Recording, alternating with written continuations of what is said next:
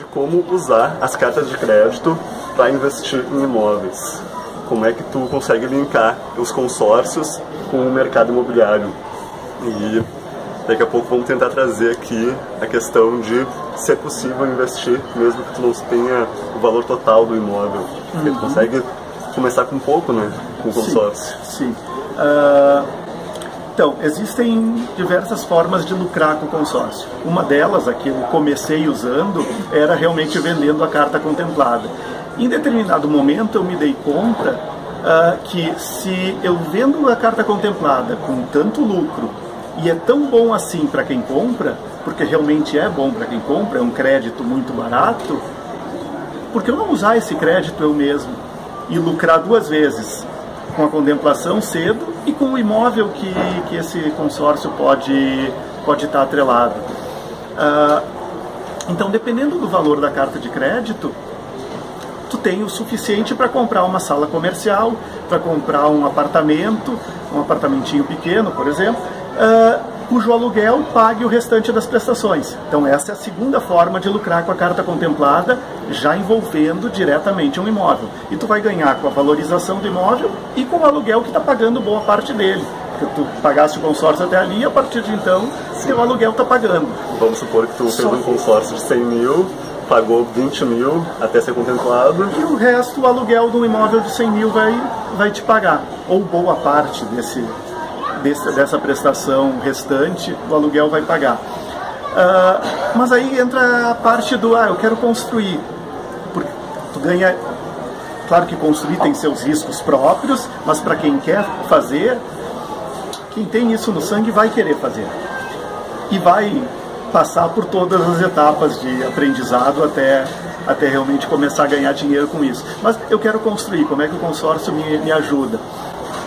Se a pessoa não consegue pagar uma prestação muito alta e o crédito não é suficiente para comprar um terreno e construir, a pessoa meio que ficava engessada. Sim. Não tem o que fazer. Uh, o, que eu, o que eu consegui fazer nesse processo para facilitar esse. Eu encontrei um amigo que tinha uma incorporadora e essa incorporadora construía pequenos prédios ou casas de, de veraneio usando cartas de consórcio para construção. Como já, ele já usava isso, eu perguntei, vem cá, eu tenho minhas cartas e tenho cartas de clientes que gostariam de investir também em construção. Uh, se eu trouxer essas cartas, vamos construir junto? E ele respondeu positivamente.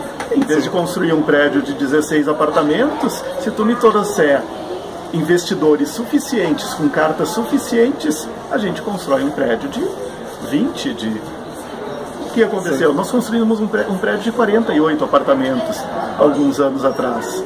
Sim. Uh, usando cartas da incorporadora, minhas pessoais e de outros uh, clientes meus da Megacombo que tinham contemplado suas cartas e não queriam uh, investir, nem vender, nem comprar um imóvel, porque o valor da, do crédito era relativamente pequeno. Mas no bolo geral, todo mundo ganhava, porque se ganhava com economia de escala, e aí, uh, inclusive, se lucrava, para quem investia dessa forma, lucrava mais do que se ele próprio fosse fazer a construção, porque não, não teria uh, ele a economia de escala que se tem na construção de um prédio em relação a construir uma casa.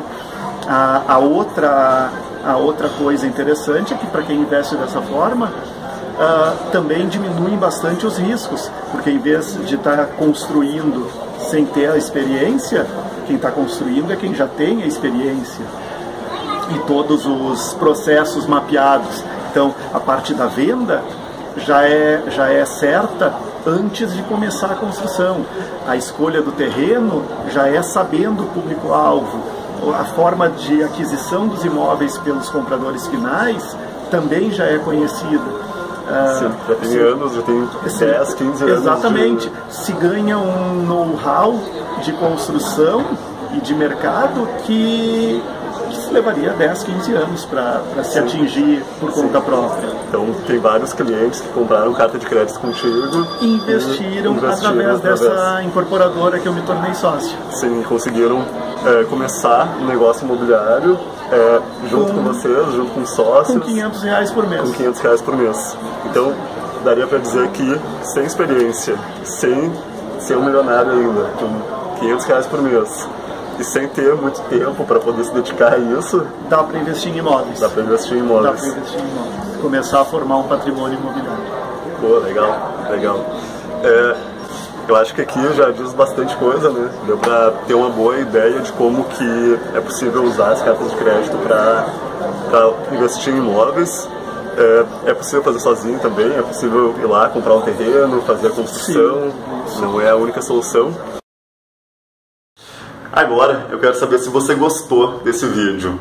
Se gostou, deixa aqui embaixo um comentário nos dizendo o que, que você achou e se você gostou mesmo e acredita que esse vídeo pode fazer a diferença para outras pessoas, compartilha esse vídeo com pelo menos um amigo seu para que ele possa também começar a entender essas estratégias para realmente fazer bons investimentos. Mas é isso então, eu agradeço muito a sua atenção até agora e a gente se vê de novo no próximo vídeo.